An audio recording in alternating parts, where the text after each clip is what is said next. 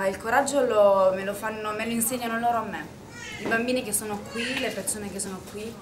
I bambini perché eh, tendenzialmente le loro paure, quello che, cioè, anzi loro non hanno paura, è come se non le avessero.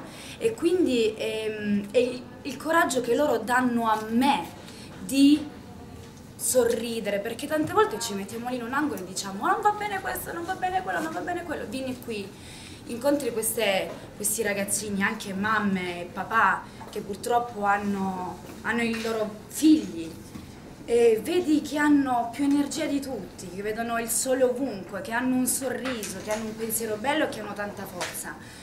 Questo è veramente da ammirare e penso che sia il coraggio più grande, sinceramente.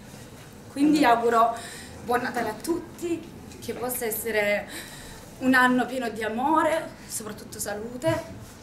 E, e quello che insegnano loro è proprio il dare amore condizionato e non pensare a tutte le cazzate, ma pensare veramente alle cose serie perché ce n'è bisogno. C'è bisogno di amore e di serenità. Grazie a tutti. Allora.